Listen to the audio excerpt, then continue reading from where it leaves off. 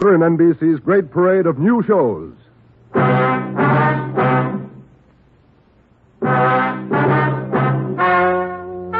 Ladies and gentlemen, the story you are about to hear is true. Only the names have been changed to protect the innocent. NBC brings you Dragnet.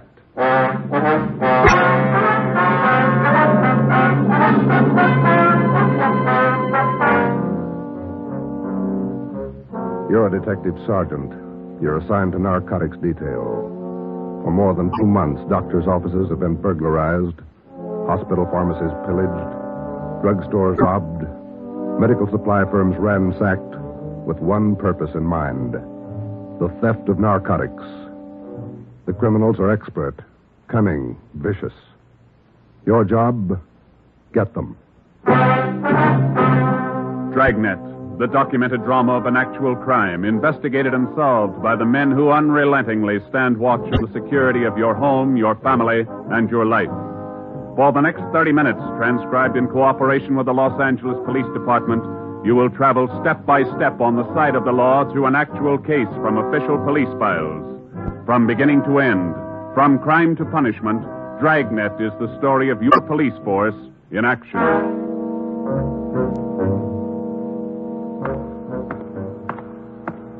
It was Thursday, March 23rd.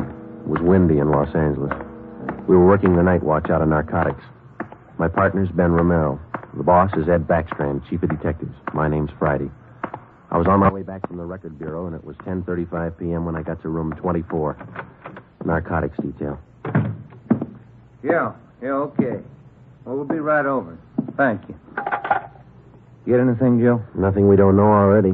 How about you? That was the county hospital on the phone. Doc Welch. Pretty fair lead. I told him we'd be right over. What's he got? One of our informants, Benny Trounsel. Ready? Let's go. What's with Benny?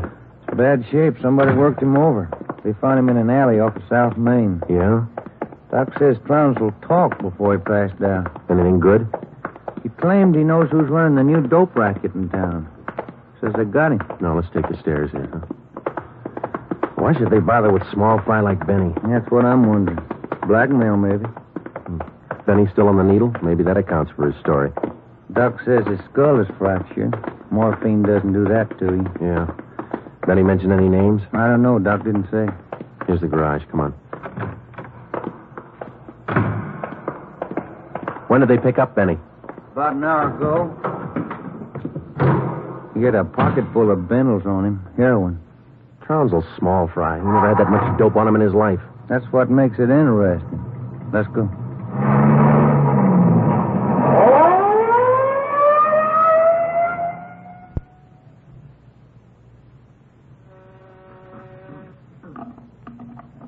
County Hospital? Yes, sir. The line is busy. Will you wait? Thank you. Can I help you, gentlemen? We'd like to see Dr. Welsh. She's expecting us. Your names, please. This is Sergeant Romero. My name's Friday, police officer. Oh, yes. Around the corner to your left, room 127. The doctor's waiting for you. Thank you. Come on, Ben. I hope Benny's still talking. We could sure use a lead. Yeah. Here it is. 127. Hiya, Ben. Joe? How are you, Doc? Anything new? Just left Trounsel upstairs. You think we can talk to him now? Won't do much good. He died about six minutes ago. For almost two years, Benny Trounsel, an addict himself, had been one of the most valuable informants Ben and I had in the narcotic gangs. More than once, he had helped us solve a case, but this time, if Benny Trounsel had any direct leads to the nerve center of the newest narcotic ring, he took them with him. Besides his dying accusation that the ring had gotten to him, he left behind only two small scraps of information. First, when he arrived at the county hospital, Dr. Welsh reported that Trounsel repeatedly muttered the name Patterson. Secondly, among the few personal effects found in his pockets was a good amount of heroin and a small piece of white paper with two words scrawled on it Tucker Building. Benny Trounsel's body was taken to the county morgue, and the next morning it was posted. At the coroner's inquest, the cause of death was listed as a brain hemorrhage induced by severe blows by a blunt instrument on the sides and base of the skull, inflicted by a person or persons unknown. Besides Ben and myself, the only identification witness at the inquest was a woman who managed a rooming house in Benedict Alley, where Trounsel used to stay periodically. After the inquest, we questioned her briefly in our office. Miss Strite, you say you can't remember any friends Trounsel had while he stayed at your rooming house? No, I can't. Besides, if I knew that man used dope, I never would have rented him a room. How long did he rent from you, Miss Strite? About six months.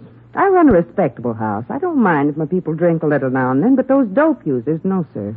Did you know anything about Trounsel, Miss Strite? Where he spent his time, where he had his meals? Well, don't serve at my place. Too much trouble. Most of the people eat at the Ace lunchroom, down the corner. Where's that, Miss Strite? Um, Grant and South Main, right on the corner.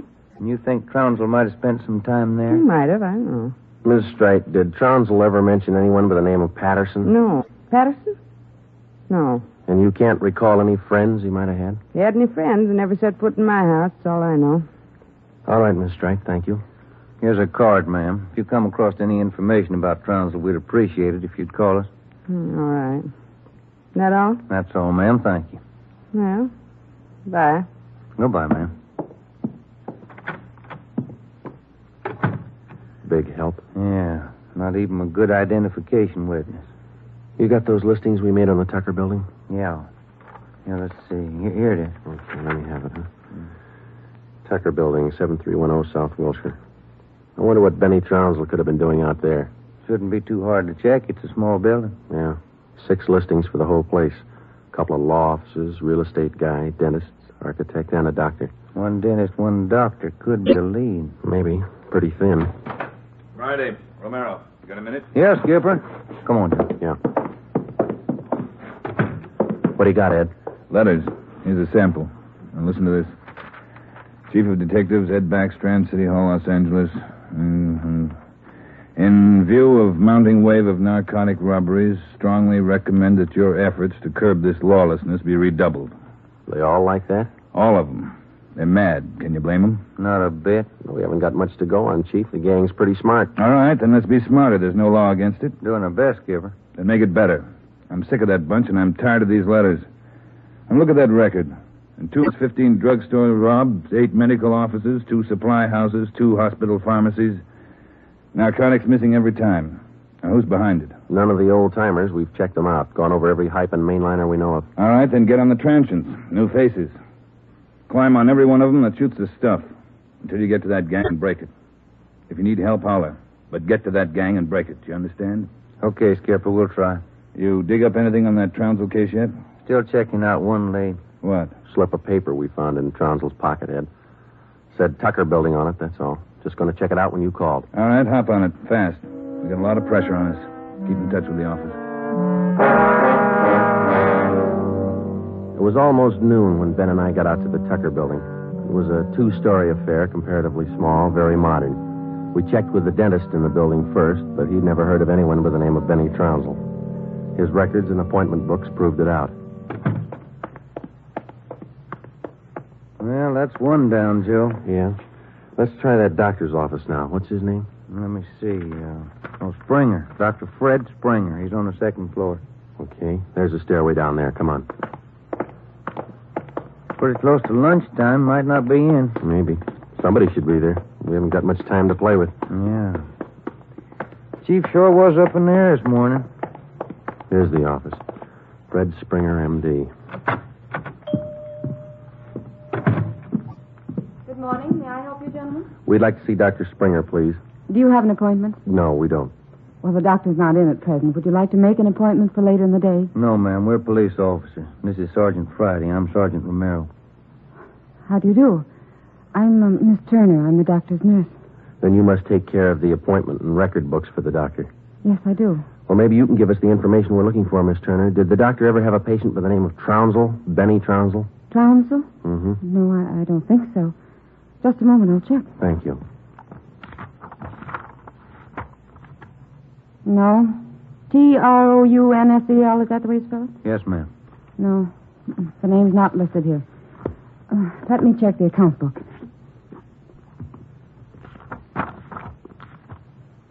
No. Wait. Funny. What's that, Miss Turner? Here in the back of the book in the doctor's handwriting. Look, Hmm. Trounsel. the Black Parrot. Certainly funny. I can't remember seeing that notation before. It must be fairly recent. Miss Turner, what kind of a clientele would you say Dr. Springer has? Oh, it's quite exclusive. Beverly Hills, Bel Air. That's where most of the bills are mailed. Can you recall seeing Trounsel in the office here, Miss Turner? Small man, thin, walked with a kind of a limp, not very well dressed. No, I, I don't think so. Doesn't sound like any of our patients. Would you show us the doctor's prescription lists for the last two months? We'd like to check them. Well, I'm afraid I can't. Dr. Springer keeps them in the safe. He's the only one who has the combination. How long you been with Dr. Springer? About ten months. Ever since he started his practice out here. Where was he before that? Philadelphia. I, I don't understand all these questions. Is anything the matter? Just a routine check, Miss Turner. When do you expect the doctor back? About four this afternoon. He's out making home calls. All right. Here's our card. Would you ask him to call us as soon as he comes in? I'll do that. Thank you, Miss Turner. Bye. Goodbye. Bye. Oh, say, Miss Turner, there's one more question. Yes? Does Dr. Springer have a patient by the name of Patterson? Oh, yes. One of the doctor's first patients, John Patterson. He lives out on East Beverly Drive. When we left Dr. Springer's office, we called R&I. There was no make on John Patterson. Ben and I drove over to see him just on a hunch. It didn't pay off right then, but it showed a little promise. When the maid came to the door of the Swank apartment, she told us Patterson was out for the day. We asked her about Patterson's occupation. She didn't know.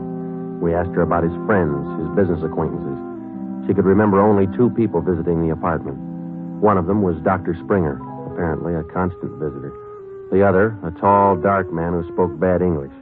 We asked the maid how long she had worked for Patterson. She said ever since he moved to Los Angeles, about six months before. A few things started to fall into place, but it was strictly a guesswork operation. Ben and I got in the car and headed for the south end of the city to check out some of the places Benny Trounsel was supposed to have frequented. We met a stone wall. From the Ace lunchroom near Benny's former rooming house to the Black Parrot. No one was willing to talk. Threats didn't work, and neither did promises. Ben and I gave up for the moment and headed back to the office. Pacific Ambulance 1, call to Alhambra is now code 3. Seems like Skid Row doesn't want any part of this one. Yeah, there's a bad feeling. Something's got him scared. Sure would like to know what it is, or who it is. Yeah, I'd like to know Control 1 answer to to Unit that, too. 80K. Control 1 to Unit 80K. Us, Joe. Get it, will you? I got it. 80K to control one. 80K to control one. Go ahead. 80K. Call station 2511, code 3.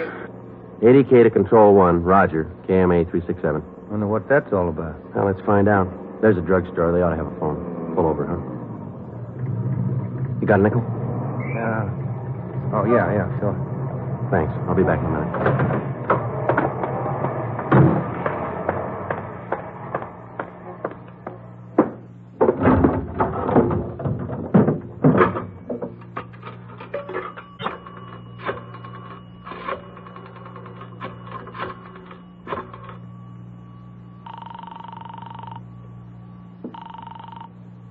Hall. 2511. Thank you. Chief of Detectives Office, Hannon. This is Friday, Mike. The chief there? Oh, yeah, just a minute. Backstrand talking. This is Friday, Ed. What do you got? You tied up? Nothing big. Then check in as soon as you can. Got something good. What? You remember the stick up at St. Agnes Hospital about a month ago? Pharmacy there? What about it? Two patrolmen picked up a user down near Union Station about an hour and a half ago. Yeah? The guy was way back on his heels. He had two vials of morphine on him. Vials had serial numbers. Good. Did they match out? Perfectly. Thanks, Ed. We'll be right in.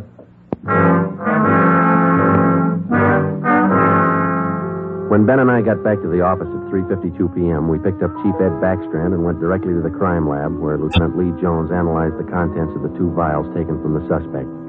Jones told us it was high-grade morphine. We went back to the office and double-checked the serial numbers on the vials with the crime report on the St. Agnes Hospital robbery. They matched. And there's a good break. These vials were in the loot when the gang knocked over the hospital 28 days ago. Now stay on the trail and we'll crack that gang wide open. This the arrest report on the guy, Ed? Yeah. Picked him up in a bar off South Main. Who is the guy? A transient? Yeah, here it is, Ben. James Steiner, Phoenix, Arizona, age 37, transient laborer. Anybody talk this guy yet, Ed? Not yet. He shouldn't be too hard. You better get on it. Right, Skipper. Come on, Joe. Check you later, Ed. What time you got, Ben? Hmm, Let me see. Uh, 25 past four. Phone call for you, Ben. Yeah, who was it? Your wife. Wants you to pick up some aspirin and a bottle of nose drops for your kid on your way home. Oh, yeah, almost forgot. That the only call we had, Mike? That's right. Thanks. Well, You got that Dr. Springer's number, Ben? Yeah, um, here it is. Uh, Crestview 55284. Thanks. Nurse said he'd call us around 4, didn't he? Yeah.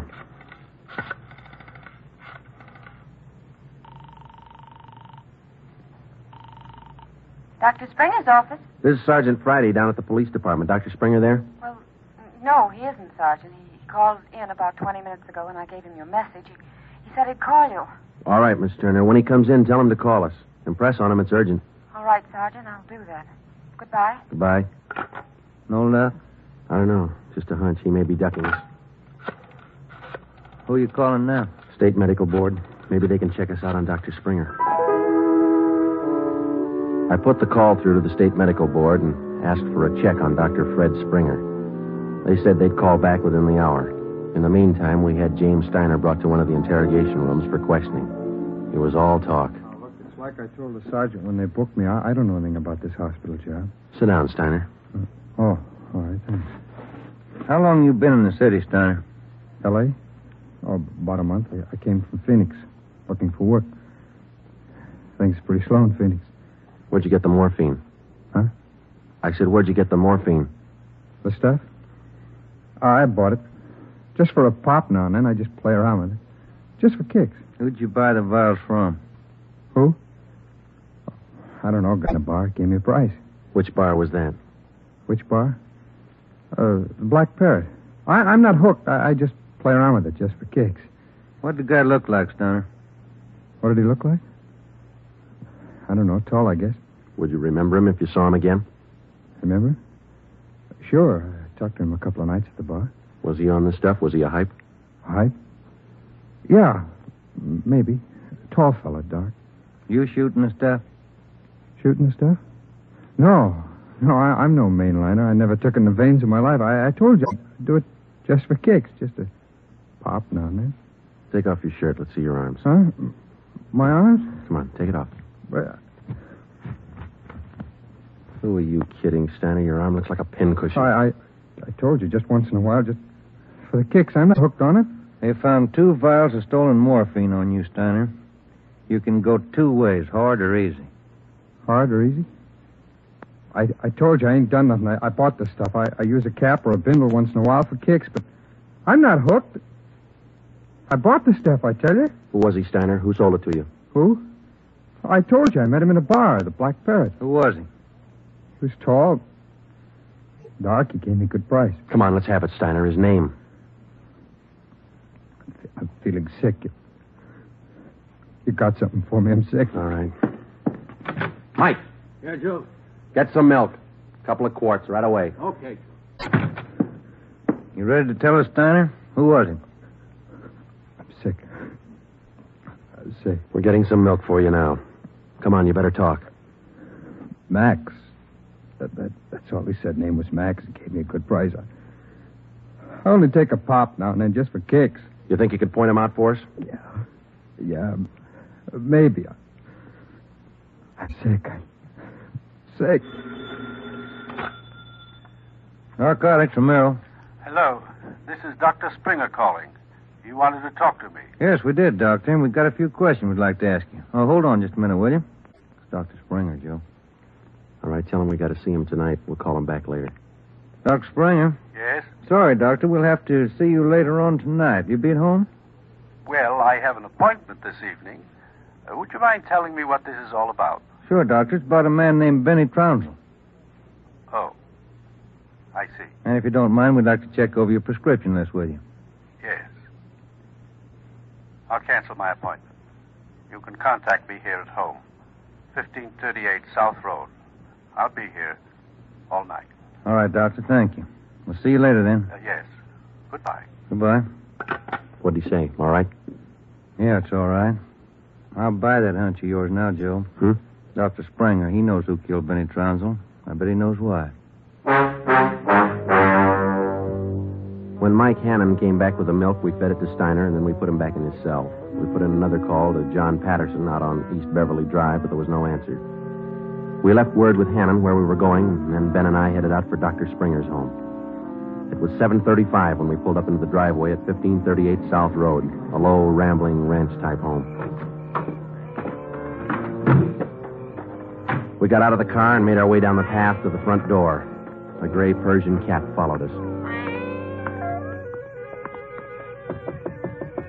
The door was half open. We knocked, but there was no answer. Through the window, we could see the living room was dimly lighted. We went in. We found Dr. Springer sitting in a large carved mahogany chair in the dining room. The room was hung with draperies. He was slumped forward, face down on the dining table. There was a bullet hole in his right temple. The floor near his right hand was a 32 automatic pistol. In the center of the dining table was a piece of white paper. Looks like he beat us. Yeah. Any names on that confession? One says he killed Trounds. No, wait a minute. It says, uh, John Patterson. He forced me to this. What? I don't know. What's it look like to you? Here's another one. Norberg. That's all it says. And then he signed his name, Dr. Fred Springer. Ben, come over here. Look at these. Hmm, hypodermic needle. It works. Is this morphine? White powder. Could be. Then he was on it himself. Looks like it. We'll find out when they post him. I'll get it. Yeah. Sergeant Friday there, please. This is Joe, Mike. What do you got? Can you talk all right there? Yeah, go ahead. Just got a kickback on your call to the state medical board on this Dr. Fred Springer. Mm-hmm. He's not a registered physician in the state of California. Besides that, his license was revoked in Pennsylvania two years ago. Illegal operations. That explains it. Notify homicide. Get the crime lab in the corner out here, will you? Looks like Springer shot himself. Okay, Joe, right away. We'll wait for him, but hurry him up, Mike. We got a couple more places to check out tonight. Okay, Joe, see you later. Right. What's next? Patterson place? I don't know. Maybe we ought to try Steiner first. Sounds good to me. Feels like we're getting close. Yeah, Ben. Real close.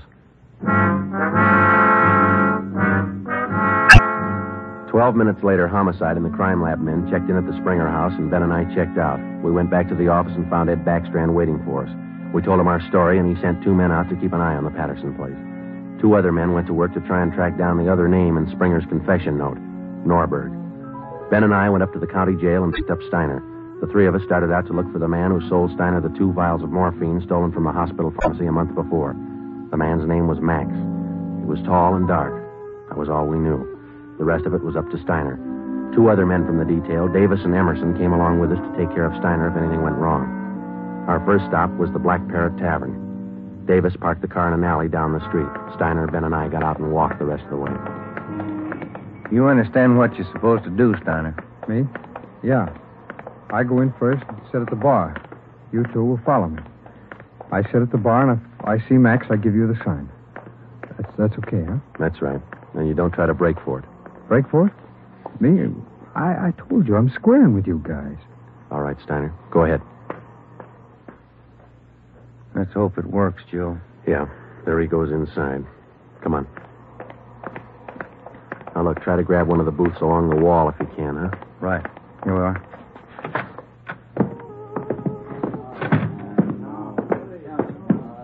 First booth, Ben. It's empty. Yeah. Fellas left to order at the bar. Waitress got a night off. Make it a couple of beers, will you? Couple of beers? Okay. Joe. Joe, look at Steiner. Yeah, he's signaling. Must mean the guy putting on his coat over there. No, hold it, Ben. Wait till he gets past us.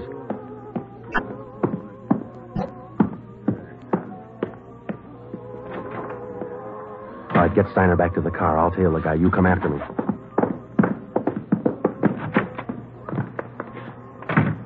I didn't know how right Steiner was or how much we could trust him. All I knew was that the man I was following was tall and he was in a hurry.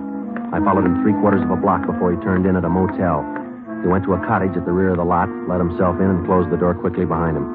A minute later, Ben and the others pulled up in the car.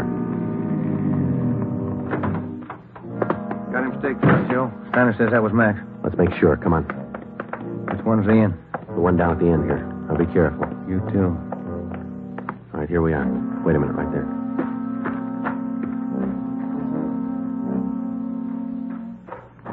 No rear door. He's got to come out the front. Keep the door clear. You ready? All set. Cover me.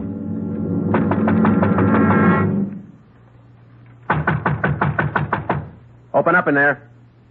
Who is it? Police officers, open up. Just a minute. All right, Ben, give it back to him. Don't shoot, we'll come out. All right, throw your guns out first, then come out with your hands behind your head and make it fast. Watch it, Ben. He's making a break. All right, mister. That's far enough. Get out of my way. Get out of Get him, Ben. That's good, Ben. You all right? Yeah. He didn't mean it, Copper. He didn't mean it. He didn't know what he was doing. Well, that must be a good excuse, lady. A lot of people use it. Come on, Ben. Let's take him in.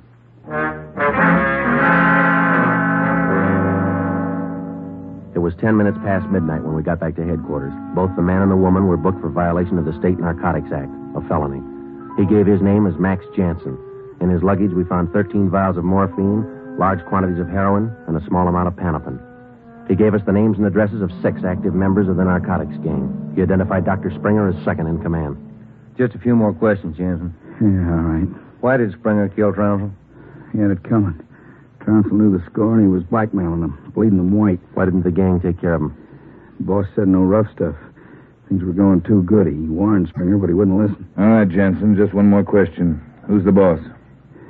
Do I get off light? State's witness? It might help. We can't promise you anything. Who's the boss, Patterson? Yeah, 138 East Beverly Drive? that's right. What about Norberg? How does he figure? It's the same guy. Patterson, Norberg, both the same. And what's his real name? Norberg, Tony Norberg. What's his front? He's legit, he used to be. Importing business. Where? Here. Got an office downtown. Do I get protection? Where's Norberg now? Home out in Laurel Canyon. Do I get protection? I thought you said he lived out on East Beverly. His apartment, his home's out in the canyon. Where? What's the address? Do I get protection? You'll get protection. Wind and Way. 860 Wind and Way. All right, Friday. Romero, take some men with you.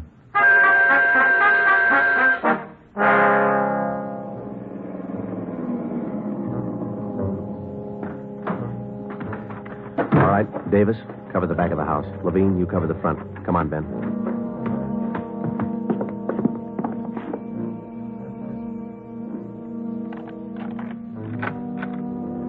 Yes? Mr. Norberg in? Who's calling? Police officers. Oh, come in, won't you? Thank you. Now get your hands up. Face the wall. You'll never make it, lady. The house is surrounded. Tony, get the stuff. It's our only chance. They'll cut you down, Norberg. All right, Jeannie, give him the gun. Don't be a fool. They're going to march out the door in front of us, right to the car. I'm not going, Jeannie. Try it if you want. I'm not going. All right, Tony, stay. Come on, coppers. You'll never make it, lady. I said move. Fast. All right, Ben, hit the dirt. She's going for the car. See if you can get those tires.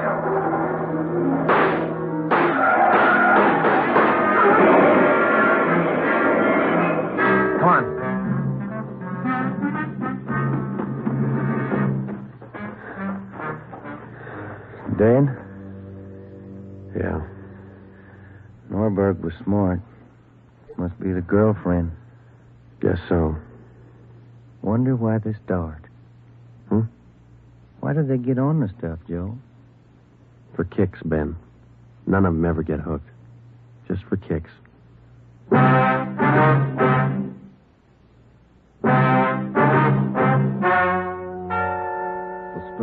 Just heard is true. Only the names were changed to protect the innocent.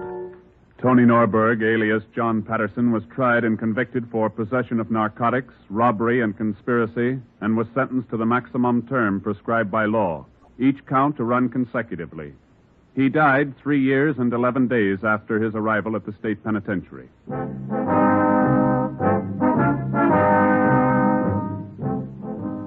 You have just heard the ninth in a new series of authentic cases transcribed from official files.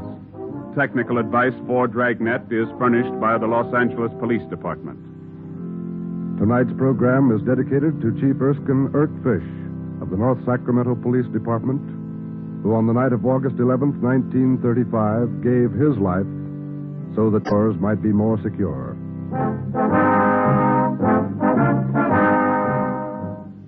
Dragnet came to you from Los Angeles. This is NBC, the national broadcasting company.